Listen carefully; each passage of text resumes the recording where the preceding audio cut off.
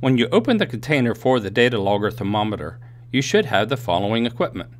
The thermometer unit, one or two probe bottles filled with non-toxic glycol solution depending on your order, an AC adapter with various wall-mount adapters, one static suppressor, two Velcro squares, two AAA backup batteries, and a certificate of calibration.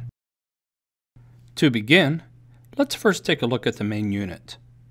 On the front bottom, there is a panel that can slide down, exposing various configuration switches and buttons. Now, turn the unit around so that you are looking at the back. The battery door has a small opening at the bottom. If you place your thumbnail into the opening and pull forward, the door will also become a bench stand.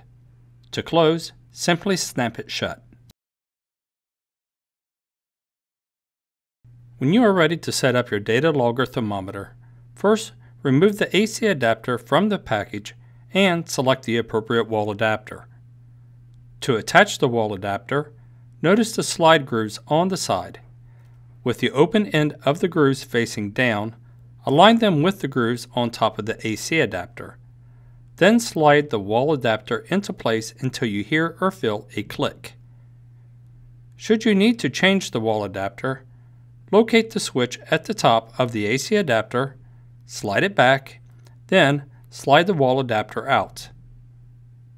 When it is out, then you can insert your next adapter.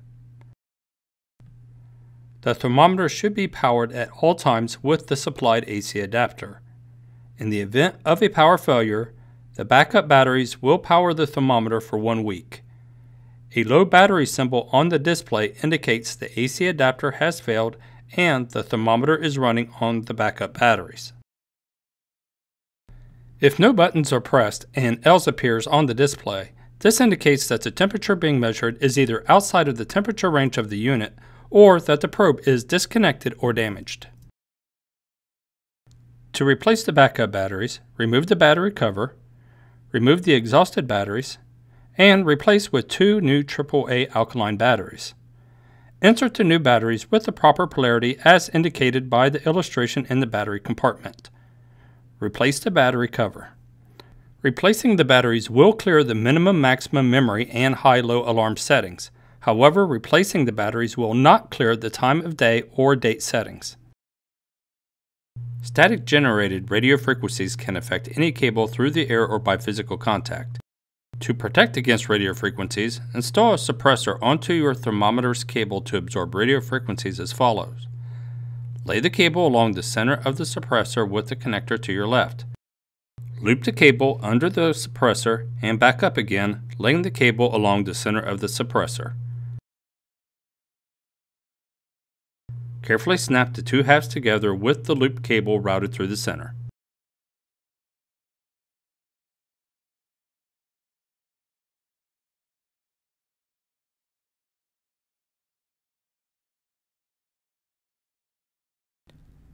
Before we begin, there are a few things you should keep in mind. Tapping and releasing the advance button will increase values by 1. Holding the advance button will automatically increase the values by 1 until the button is released. If you do not press any buttons for 15 seconds, the thermometer will exit the setting mode. When you change the position of the display switch while in the setting mode, this will save the current settings. Locate the display switch and slide it down to date and time. Notice the display shows the year, month, day, hour, and minute. Slide the display door open on the bottom. Press the select button to choose the parameter you wish to adjust. The selected parameter will flash when selected. First, the year will flash. Continuously pressing and releasing the advance button will cause the year to increase one year at a time. Holding down the Advance button will cause the thermometer to automatically advance. After the year reaches 2100, it will roll back to 2013. Press the Select button again, the day will flash. Again, pressing and releasing the Advance button will increase the value one day at a time. Holding down the button will increment through the days automatically. After day 31, the device will roll back to day 1. Pressing select a third time will adjust the month. Pay attention to the format the thermometer is displaying the day and month. Just to the right, it will tell you which order is displaying the values in. You can change the position of the values by pressing the Event Display button. Pressing select a fifth time adjusts the hour and a sixth time to adjust the minutes. A final push will allow you to select between 12 and 24 hour time. If the thermometer is in standard 12 hour time, you will see PM next to the time. When done, you can either not press any buttons on the thermometer for 15 seconds or change the position of the display switch to save your changes.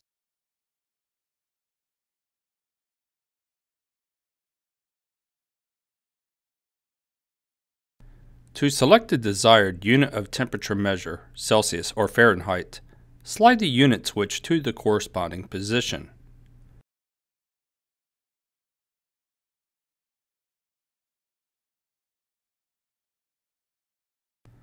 The minimum temperature stored in memory is the minimum temperature measured since the last clear of the minimum and maximum memory. The maximum temperature stored in memory is the maximum temperature measured since the last clear of the minimum maximum memory.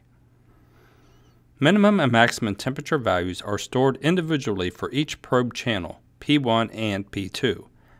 Both channels are monitored continuously regardless of the selected probe channel. Slide the probe switch to the selected probe channel to be displayed. Slide the display switch to the minimum maximum position. The temperature will display the current minimum and maximum temperature for the selected probe channel. Press the Event Display button to display the minimum temperature with the corresponding date and time of occurrence. Press the Event Display button a second time to display the maximum temperature with the corresponding date and time of occurrence. Press the Event Display button to return to the current temperature display. To clear the minimum maximum memory, slide the probe switch to select the temperature probe channel to be cleared. Slide the display switch to the minimum maximum position and press Clear Silence Alarm button to clear the current minimum and maximum temperature readings.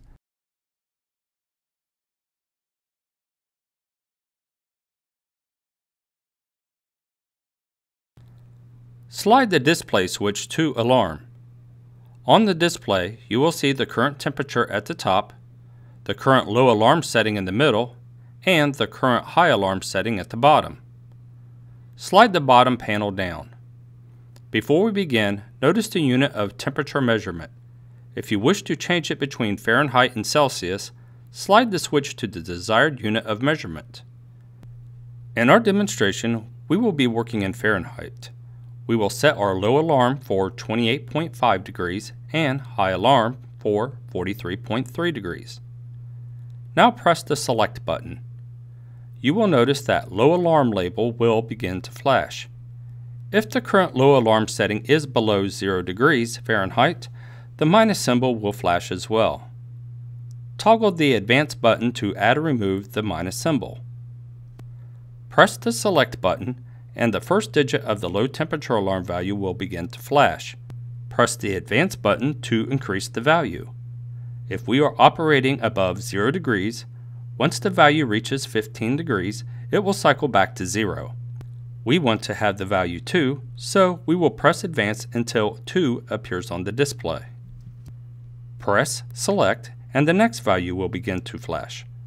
We will press the Advance button until the value 8 appears on the display. Press Select again to change the last value of the low alarm setting. Press Advance until the value 5 appears. You should now see a low alarm setting of 28.5 degrees on the display. Press Select and the High Alarm label will now flash. You still have the option to toggle between below and above zero by pressing the Advance button. Press Select and the first digit of the High Alarm setting will flash. Press the Advance button until the value 4 appears. Press Select and continue to press the Advance button until the value 3 appears. And once more, press the Select button and then press the Advance button until the value 3 appears. We now have a high temperature setting of 43.3 degrees Fahrenheit. Now that we have our low and high alarm limits set, to save my settings, I am going to slide the display switch to minimum and maximum. If I later wish to review my alarm limits, I will slide the probe switch to the probe I wish to review the alarm limits on and slide the display switch to alarm. To enable the alarm, I can simply slide the alarm switch to the on position. Keep in mind you cannot turn the alarm on or off for an individual probe.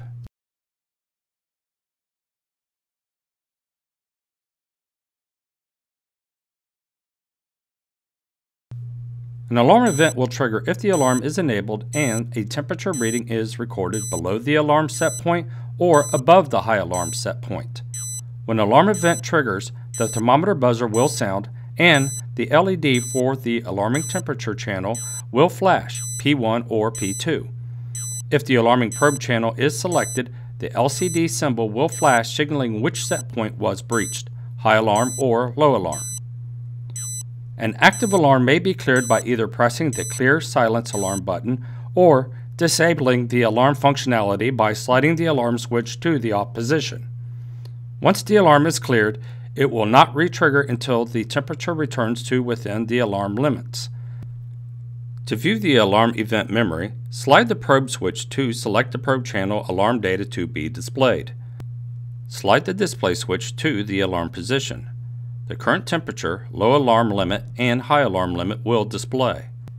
Press the Event Display button. The thermometer will display the alarm limit, date, and time of the most recent alarm out of range condition. The symbol alarm out will display to signal the date and time displayed indicating when the temperature went out of tolerance. Press the event display button a second time. The thermometer will display the alarm limit, date, and time of the most recent alarm event, returning to within the alarm limits. The symbol alarm in will display to signal the date and time displayed, indicating when the temperature returned to within tolerance. Press the Event Display button to return to the current temperature display. No button pressed for 15 seconds while viewing the alarm event will trigger the thermometer to return to the current temperature display.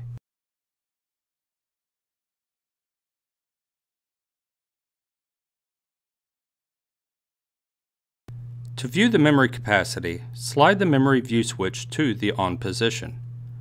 The first line will display the current percentage of memory full. The second line will display the number of days remaining before memory is full at the current logging interval. The third line will display the current logging interval.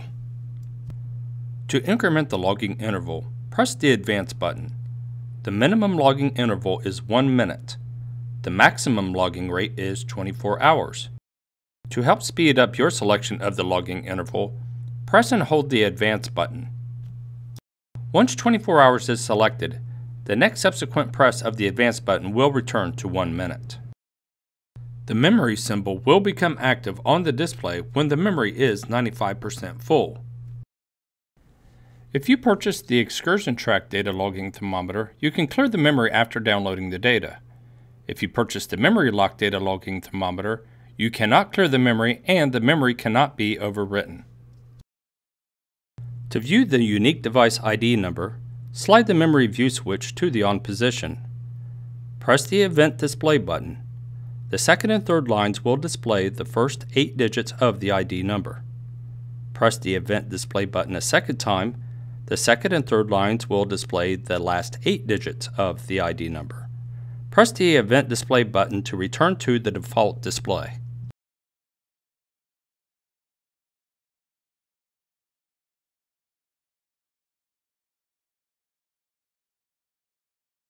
The data can be downloaded directly to a USB mass storage flash drive. To begin the download, insert the USB flash drive into the USB port located on the left side of the thermometer. The download will begin automatically upon insert. The P1 LED will turn on to indicate the download process has begun. Once the download process is complete, the LED will turn off. Do not remove the USB drive until the process is complete. The downloaded data is stored in a comma delimited CSV file on the flash drive. If more than one file is written from the same thermometer to the USB flash drive, the revision letter will be incremented in order to preserve the previously downloaded files. The data can be opened in any software package supporting comma delimited files, including spreadsheet software such as Excel and text editors. The file will contain the thermometer unique ID number, the most recent 10 temperature events, and all stored temperature readings with date and time stamps.